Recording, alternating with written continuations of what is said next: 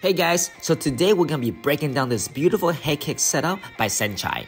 So what Saenchai did was he parries off the jab as opponent comes in. From there, he's gonna fire through the left high kick, boom, straight to the head. And since Saenchai fights southpaw, once he parries the jab, his rear leg is already in the position of the kick.